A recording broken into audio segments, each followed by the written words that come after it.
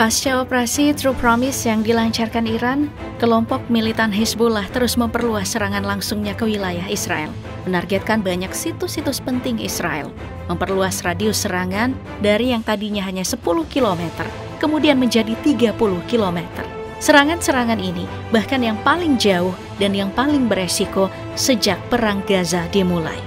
Tapi pertanyaannya, mengapa Hezbollah terus melancarkan serangan rudal dan drone-nya? Spekulasinya, Hezbollah terus melancarkan serangannya setelah tahu kalau rudal Iron Dome habis dan posisi baterainya sudah diketahui. Makanya, beberapa markas militer yang jauh di dalam wilayah Israel bisa ditembus oleh rudal dan drone. Hezbollah pada Selasa 23 April mengkonfirmasi telah melancarkan serangan udara gabungan dengan menggunakan drone pengalih dan drone kamikaze-nya bertepatan dengan hari ke-200 Perang Gaza. Wilayah yang diserang adalah markas besar Brigade Golani dan markas besar dari unit Egos 621, salah satu unit elit IDF di Barak Sraga di bagian utara kota Aka yang diduduki Israel. Berdasarkan konfirmasinya, drone diluncurkan berhasil mengenai target secara akurat. Motifnya adalah balasan atas serangan yang dilakukan Israel ke kota Adlon pada 22 sampai 23 April yang menewaskan seorang pejuang di unit elit Hezbollah, Hussein Askol. Segera setelah serangan, sirine kemudian dibunyikan di sejumlah besar pemukiman di utara Aka sampai Akre, termasuk di wilayah Kiryat, untuk pertama kalinya sejak Desember kemarin.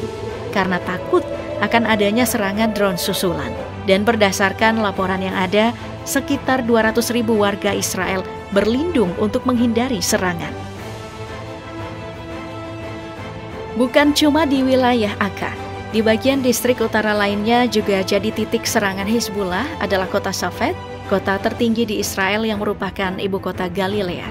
Dari rekaman video, terdengar beberapa kali suara dentuman dari rudal Hizbullah ini.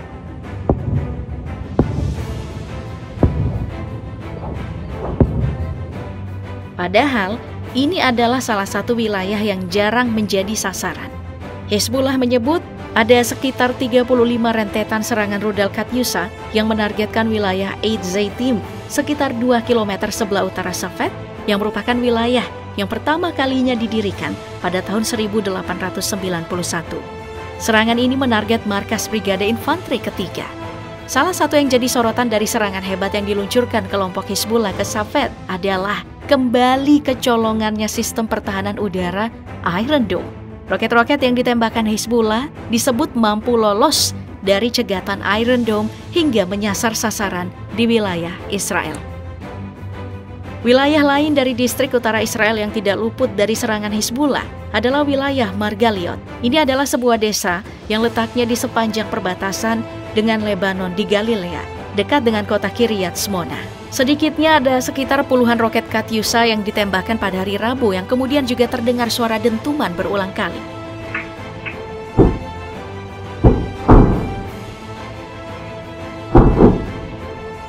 Akibatnya apa? Listrik padam di wilayah Kiryat Smona dan Margalion. Menurut sumber, setidaknya ada 15 roket yang ditembakkan, semuanya mendarat di daerah terbuka. Meski begitu, menurut laporan, tidak ada kerusakan yang terjadi. Pasukan Hizbullah juga menargetkan peralatan mata-mata di situs Al-Wazani dan Hanita dengan menggunakan roket gerak. Tapi dari sekian banyak serangan Hizbullah, apa yang terjadi di wilayah Arab Al-Aram Sheikh di Israel Utara pada Rabu 17 April sebagai serangan paling berbahaya.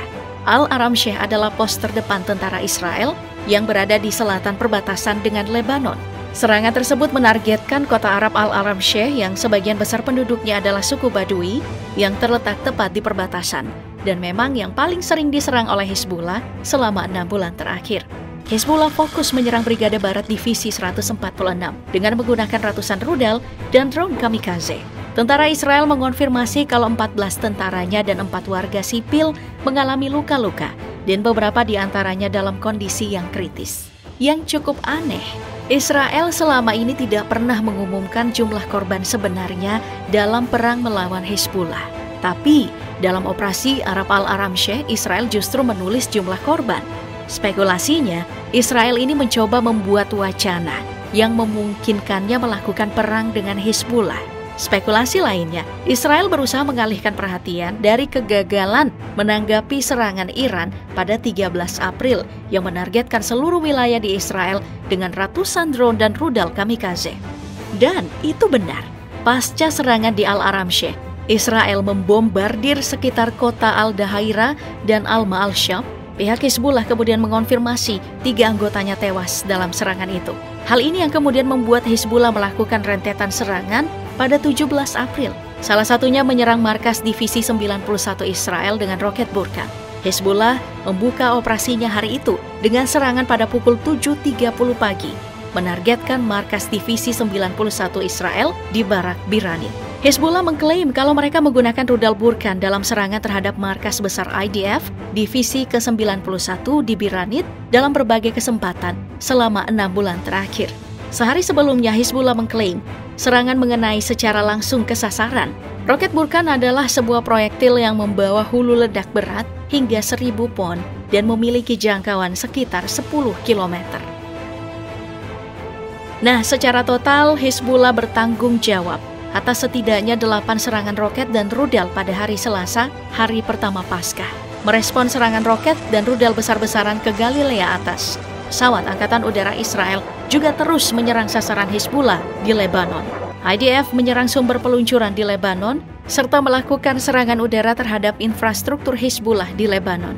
Di sisi lain, ribuan demonstran Israel turun ke jalan untuk menyerukan pemilihan umum dan menuntut untuk memulangkan para sandera yang ditahan di Gaza. Perdana Menteri Benjamin Netanyahu dinilai gagal dalam melakukan pendekatan terhadap sandera Israel yang masih ditahan oleh gerakan Islam Hamas. Bahkan survei menunjukkan bahwa sebagian besar warga Israel menyalahkan Netanyahu atas kegagalan keamanan yang menyebabkan serangan dahsyat yang dilakukan pejuang Hamas terhadap komunitas di Israel Selatan pada 7 Oktober. Rentetan serangan yang terjadi di Israel adalah gelombang drone dan rudal Iran. Ditambah serangan Hizbullah disebut mengalihkan perhatian dari konflik di Gaza dan bagi banyak keluarga sandera yang tersisa. Warga Israel menilai pemerintah lebih sibuk membalas serangan ketimbang memikirkan cara untuk menyelamatkan sandera di Gaza. Yang perlu kita tahu, peningkatan ketegangan yang terjadi di Timur Tengah adalah hal yang belum pernah terjadi sebelumnya dan sangat beresiko menimbulkan konflik regional yang lebih besar dan bisa mengancam kehidupan jutaan warga sipil. Tapi sebenarnya bukan mengancam. Konflik regional yang terjadi di Timur Tengah, di mana jutaan orang sudah terkena dampak krisis akibat konflik, pengungsian, dan kemiskinan. Kalau kita bicara motif, Hezbollah melakukan operasinya untuk mendukung rakyat Palestina di jalur Gaza, serta sebagai tanggapan terhadap agresi Israel yang berulang-ulang terhadap desa-desa dan kota-kota di Lebanon. Solusinya apa? Tidak ada jalan lain untuk menghindari situasi keamanan menjadi tidak terkendali semua upaya harus dilakukan untuk mematikan deeskalasi melalui cara-cara politik dan diplomatik saja. Semua pihak tanpa terkecuali yang terlibat dan pihak-pihak yang punya pengaruh perlu segera berupaya melakukan deeskalasi. Mengakhiri permusuhan di Gaza akan meredakan ketegangan di wilayah tersebut secara signifikan. Yang paling segera adalah melakukan gencatan senjata kemanusiaan dan juga segera membebaskan semua sandera.